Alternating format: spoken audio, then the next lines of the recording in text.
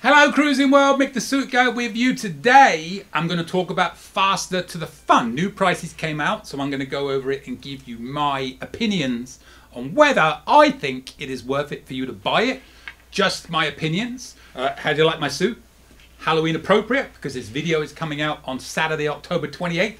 So we are close to Halloween. I could have done my uh, skulls, could have done my pumpkins, and I've got another blood one over there, but I went with blood. Bloody blood. Anyway, um, so yeah, faster to the fun. New prices came out. So what I'm going to do is I'm going to walk you through the new pricing, what you get, what you don't get, and stuff like that. Give you my opinion on all the benefits. The ultimate goal of this video is for you to decide for yourselves whether it is worth you getting faster to the fun or not. Um, I mean, it's one of those things where I'm not in a position to tell you what you should and shouldn't do. I'm here to give you my reasoning why you should or shouldn't. Uh, as you'll find out, I'm pretty much on the shouldn't side of it. In fact, I'm pretty much 100% on the shouldn't side of it, but that's just my opinion. I also uh, asked my Facebook group for some uh, suggestions uh, and what their thoughts were, and I got some of those, which I will cover at the end of this video also. So what I'm going to do is I'm going to walk you through the faster to the fun, uh, what you get, and give you my input on each of the what you gets, then show you the pricing, and, and then we'll look at what my Facebook group said. And then from there, you should be fully armed and able to make a decision on whether it is good for you or not. Again, I'm not saying to do it or not to do it. I'm just telling you what I would do and reasoning why I wouldn't do it, which is pretty much what I'm going to say.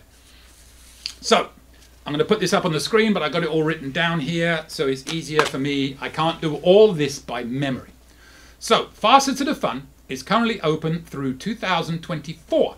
Faster to the Fun is not offered on Carnival Journeys departures, cruises in Europe, nor on cruises from Norfolk and San Francisco. Uh, translated as there's a lot of diamond and platinum cruises on that ship, and Faster to the Fun numbers are limited by how many platinum and diamond people are on the ships. That's why you don't get them on the journeys, because like we just did the Greenland journeys, and over 50% of the ship was either platinum or diamond. Please note the VIFP Club Diamond and Platinum members do not need to purchase this package as these and other benefits are included as part of your VIFP Club status. Guests travelling in suite accommodations are also entitled to these benefits with the exception of a dedicated phone extension and line at guest services, which is quite surprising to me. I thought that suite people could join the priority line, and I'm going to double check that when I'm on the Venezia. Uh, as I speak, I'm videoing this. It's coming out on the 28th of October, and today I am in New York on the Venezia, waiting to go on a 12-day journeys cruise. No faster to the fun on this one, to the Southern Caribbean. We're going to Dominica, St. Lucia, Barbados, St. Thomas, St. Martin. It's going to be an awesome cruise.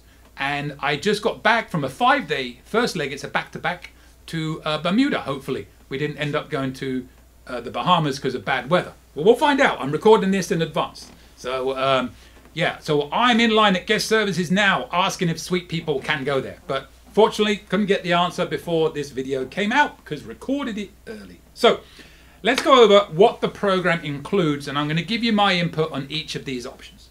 Number one, priority check-in. Upon arrival to the terminal during your arrival appointment, look for the priority line to check in. So yes, it's true, you are going to get priority. Diamond is going to get on board first, then Suites, then Platinum, then faster to the fun than everybody else. Here's the thing: if you've been on these cruises and you've been in the in the embarkation lounge, uh, you it moves pretty quick. If you just go online and check in at your earliest opportunity, you're probably get, gonna get on a minute or two after the faster to the fun people. So you know you can tell you know when you can check in. It, it will give you the times. Uh, it's like midnight, two weeks before your cruise. Platinum and Diamond people get 16 days in, in advance. Uh, to be honest, I'm not sure if Faster to the Fun gets the 16 day note or they're at 14. It's a good question. I'm not sure about that. I'd have to look that one up. If you know the answer to that, please put it in the comments because I don't know.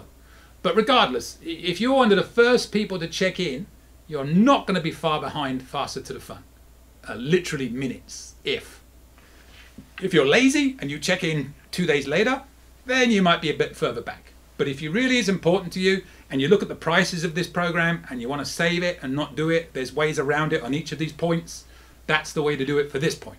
Just check in as early as you can and select the earliest embarkation window that you have available to you.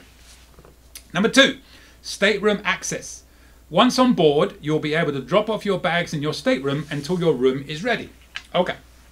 Yes, that is true. Platinum Diamond Suites, faster to the fun, are the only people that are allowed to drop their bags off in the room. Let me tell you this off the record, if you take your bag to the room and you just say to, I'm just dropping my bag off, no one's going to question if, if you're platinum or diamond. They just don't. Long, they're too busy to worry about it. Drop it off and go.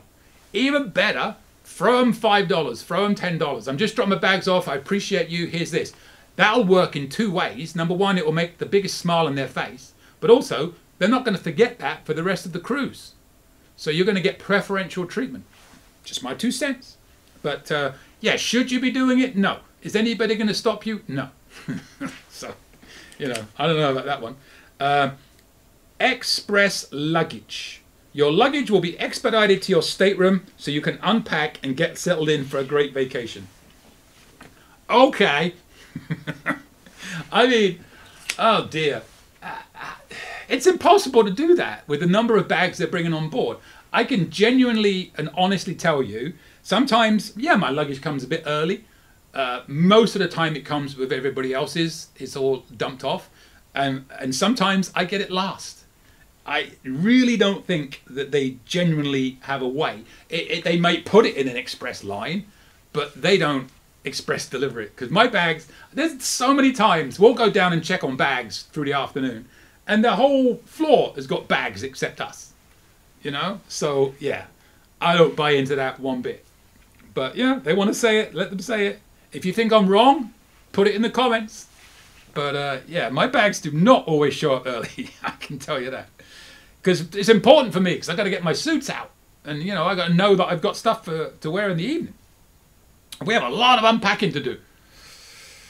Guest services. You will have a dedicated phone number and line at guest services so you can quickly have your questions answered.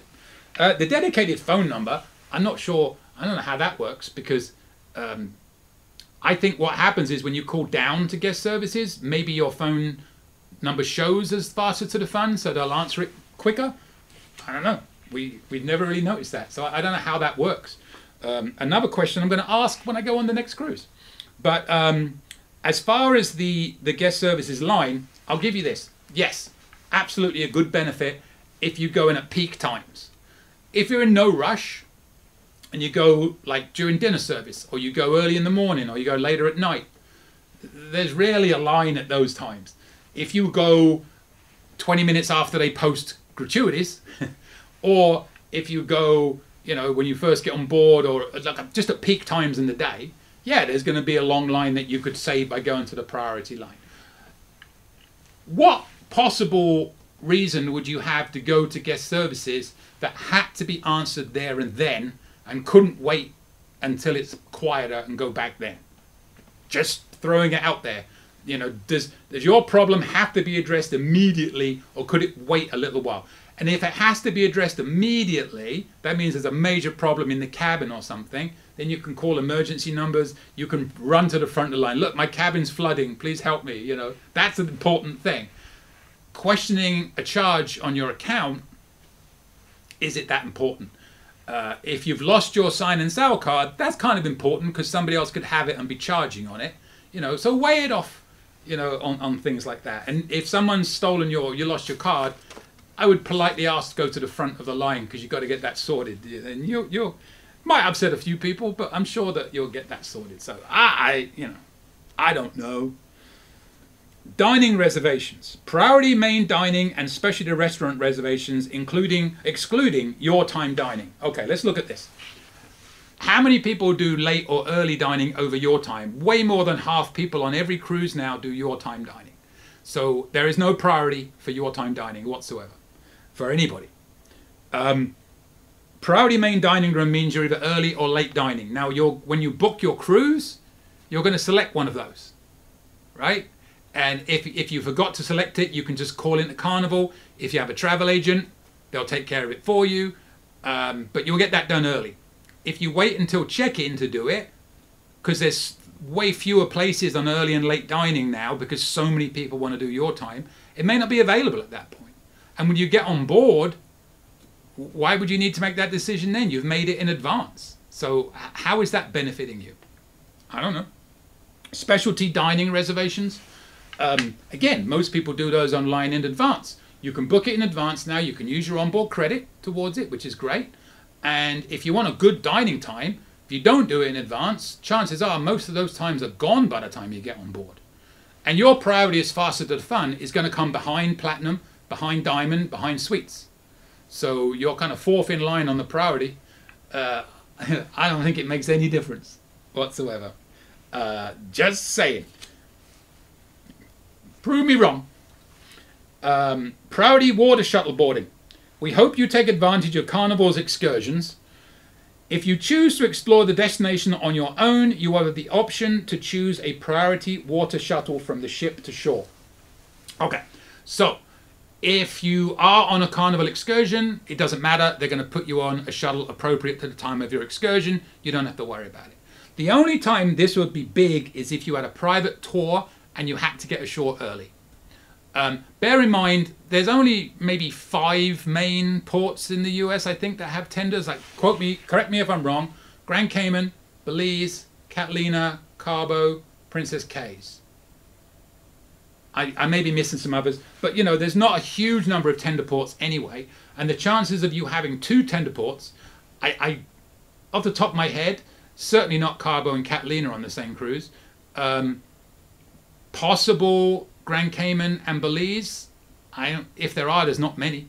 So there's very rarely going to be a time when you have multiple tender ports on a cruise, unless you're like on a Journeys cruise, when you can't do faster to the fun anyway. So, um, and in, in the priority in the morning is usually a small gap first thing in the morning. So, like if the ship gets in at seven, you're going to get priority tender from maybe 7:30 to nine, and then after that, it's just there's no more priority. So, uh, and it depends on the ship how long that priority gap is, but it's usually between one and a half and two hours, I would say, uh, not much longer than that. So, um, and there's no priority coming back on the ship. Everybody's just in one long line getting back. So it's only getting off, not getting on. So, in my opinion, the only time that would really factor in, like I said, is if you had a private tour ashore, you had to get ashore for it so it didn't leave. Then it could be an issue. But you could also, if you have a bit of flexibility, you can just go down to the guest services and ask when they are going to put the shuttle tickets out and then make sure you're there when they go out. You don't have to go there four hours early like so many, I'll be polite, people did on the, the Legend Cruise to Greenland recently, where they stood in line for four or five hours to get tender tickets. The tender process moves very smoothly once it gets started, so you're not going to be waiting too, too long. Um, but there's ways around it you know. But that is one. I'll give you that as one time when it could be good, if you have a tender and you have a shore excursion that's private to get ashore for. Debarkation. We always we're always sad to see you go, but when your cruise is over, you may choose an early or late debarkation time upon arrival to your home port.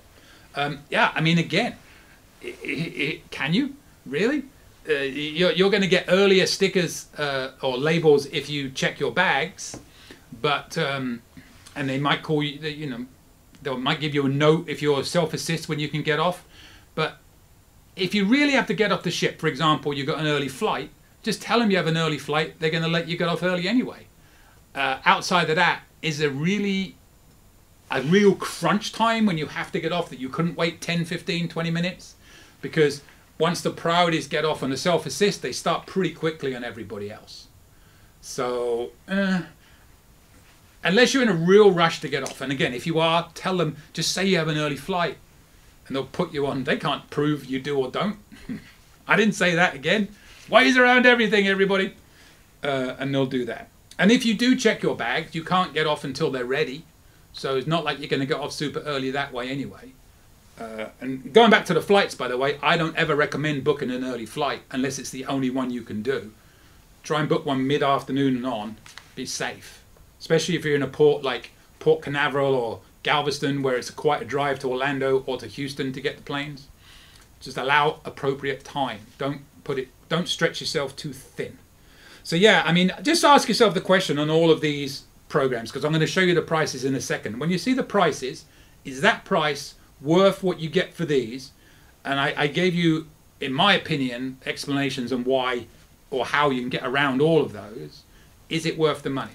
When we used to do it, and, and like I said, before we, we became um, platinum, we used to get faster to the fun every cruise. It was the first thing we did. We thought it was the greatest thing, but we didn't know the ways around it then.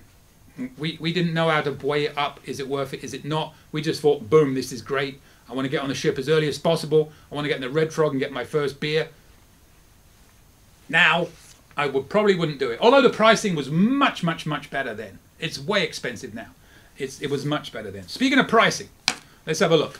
The price is per stateroom, so only one guest needs to purchase faster to the fun, and all occupants in the stateroom receive the benefits. Prices are subject to change and may vary by ship. Faster to the fun is subject to availability. How many platinum, how many diamonds are on board? That's the way they're going to work it. And they could cut it off at any point. So, like I said, if you know you want to do this, do it early. Don't leave it too late and be disappointed when it's not available anymore. Just because it shows there today doesn't mean it's going to show tomorrow. But look at the difference in prices between 2023 and 2024. And I'd love to have the prices from like pre-COVID on this. You know, for a seven-day cruise, it used to be like 50 bucks or something like that. Now, now look at it. Um, $10 increase across the board pretty much on everything. So if you're doing a nine plus day cruise, you're looking at $190 a cabin. Now that is not per person, it's per cabin, but that's a lot of money. Think what you could do with that. You know, I, I think if you were worried about the uh, whole getting off the ship because you had a private excursion and you're on a nine day cruise, uh, just book the cheapest carnival cruise. Don't do it. Give it to somebody else. And it's going to be cheaper than $190 to get your uh, priority off the ship. I don't know. Just throwing it out there. So yeah, that pricing is quite steep in my opinion um, for what you get. So again, I, I'm going to say this over and over. I'm going to try not to say it anymore. You've got to weigh it off. The benefits of what you get, is it worth what you pay? Simple as that. In my opinion, no, but it could be in yours. And if you do, I'm not going to judge you. I am not going to say, ah, you wasted your money, you idiot. Why did you buy faster to the fun? For a lot of people, it's peace of mind. It makes you feel more comfortable and relaxed. And, you know, then if it does, do it. I'm not saying don't do it.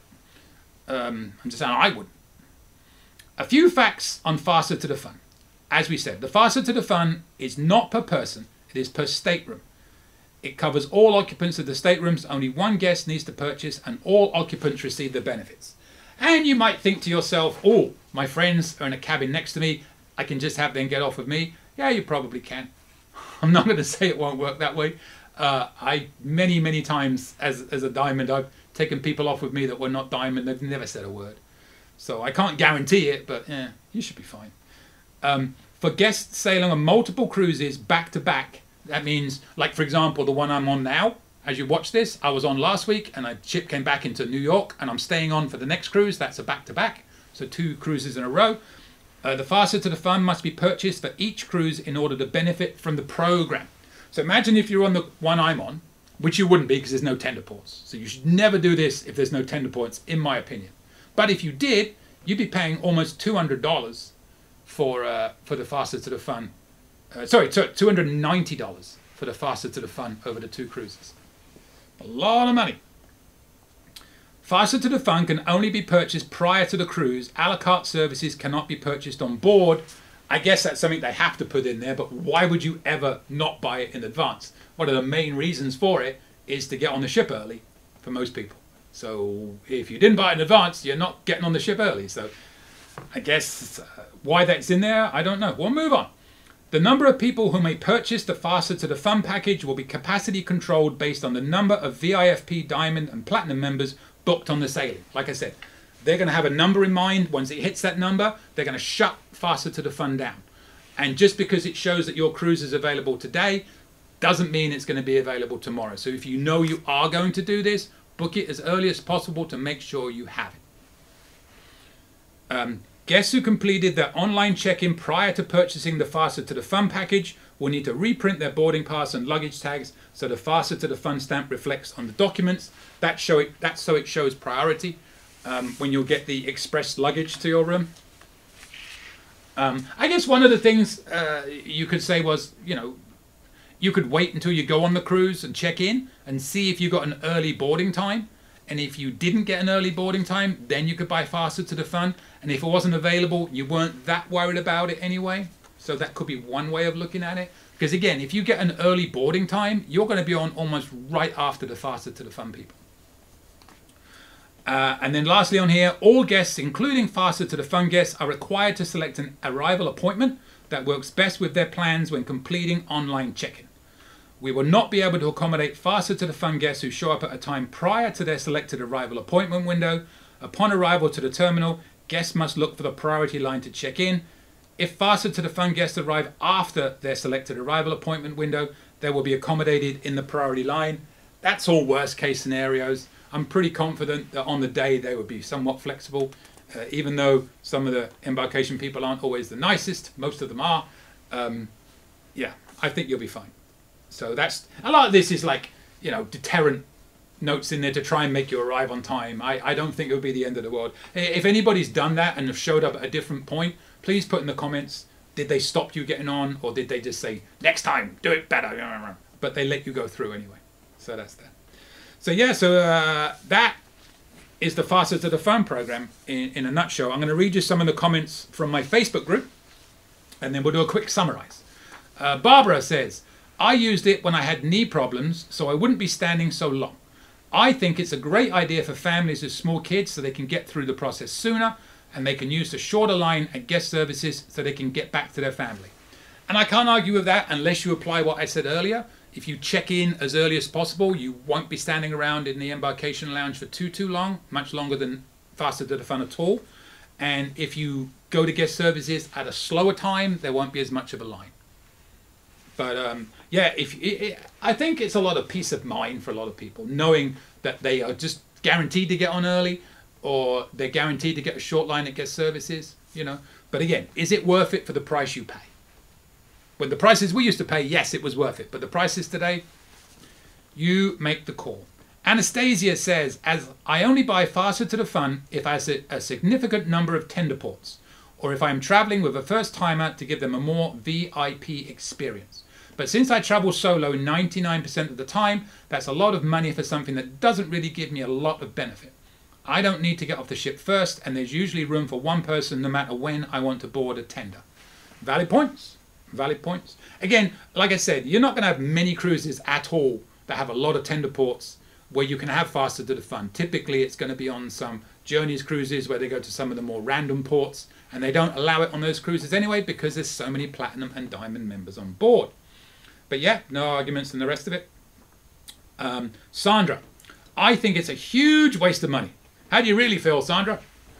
Last time we got it, we literally got on the ship two minutes before those without it, to my point. For $10 tip, the steward will let you drop off your bags early. $5, $10, or even nothing, but I recommend $5, $10, uh, and they won't say a word. As for shows, just get there early and you get a good seat. Most cruises don't have tenders, so you get zero benefits from that. If your cruise is port tender heavy and you did not get carnival excursions, I can see why you might get it. But other than that, just hand your steward $10 and drop your bags off. Way cheaper that way. Save your money for something else. Uh, one thing I will say, I have to point out where it says, as for shows, just get there early and you get a good seat. There's no priority uh, for shows. It's first come, first serve, diamond, platinum, whatever. You don't get any priority on shows, on Carnival. Um, Com Comedy Club, I wish you did, but you do not. Um, yeah, the, the $10 tip thing's great. Um, port tender heavy, again, I'll, I'll, stress it again. There's not many cruises that are port tender heavy where faster to the fun is applicable. Uh, the only, like I said, the only one I could possibly see, and correct me if I'm wrong, would be Grand Cayman and Belize, and I don't think there's many cruises that go to both, if any. Lastly, Mel, my good friend Mel. We met Mel on the Greenland cruise. Awesome person. Wowzers! I, even even though she's Canadian, Oops. Wow, I didn't mean it, Mel. I didn't mean it. Wowzers. I know. I maybe I did. I don't, no, I didn't mean it. Wowzers. I know I didn't pay nearly that much when I used it. I had it for some cruises before I turned platinum, but some of my cruises were journeys and not available. The only perk really was priority on and off the ship. Looking back, I'm not sure I really needed it. Yeah, I couldn't agree with you more, Mel. I mean, you know, just summarizing my thoughts on it, I think the only, of all of the benefits to the program, The only ones where I could see it being justified would be the priority water shuttle boarding if you had a private tender ashore that you had to get off early to catch, a, a private excursion ashore you had to get off early, or maybe the guest services if you didn't want to have to go at random times. You wanted to go whenever you wanted to go for peace of mind. You know, the priority check-in, again, check in early, you're good. Stateroom access, throw your room steward a five or ten dollars or, or whatever you want to do or just say i'm just dropping my bag off and leaving. They're not going to say anything. Express luggage waste of time. Guest services dining reservations pointless. Priority water shuttle boarding like i said could be good and debarkation mm. so um, you know just my opinion and some of my facebook members is it worth it? You make the call. It's your cruise. We are not here to tell you what to do. I said we now because i got backup. Um, just our opinions so uh, yeah, apply it, circle it around in your head, weigh it off. Is it worth it for what I'm paying? And if you think it is, great, do it. Peace of mind is a wonderful thing. If not, hopefully my suggestions or our suggestions would help you, and uh, you know you don't have to spend the money. Spend it on something else. More tips for the crew would be my suggestion. If you like this video and you want to see more, please subscribe, hit that little bell and you'll get notifications when my videos come out. I try and do one every Monday, Thursday and Saturday. Monday, I put out a tips video. You can send me your tips. I will read them. I don't read them in advance. I read them live and react as I record, so be warned about that. If you have cruising traditions, send me those as well. On a Thursday, I like to put out a ship uh, cabin video and on a Saturday is a video like this, just a miscellaneous type video. And if you have any suggestions on videos you would like to see, uh, number one, check my uh, back catalog because I've got a lot of videos out there. I'm closing in on 400 videos, so it might be already covered, but it could be due an upgrade. You know, I've done one on this before. It was due an upgrade, so uh, we did that. So yeah, and with that, I will see you later, Cruising World. Any questions? Email me anytime. CruisingSuitGuy at gmail.com. I promise I'll reply as soon as possible. Want to book a cruise or any type of travel? We are travel agents. Check out our site, elitetravelconnection.com, or email me, mick at elitetravelconnection.com. We are here for you. Finally, subscribe, please. Pretty please. You know you want to. Go on. I won't beg you. Okay, I'm begging. Please. Subscribe! Thank you.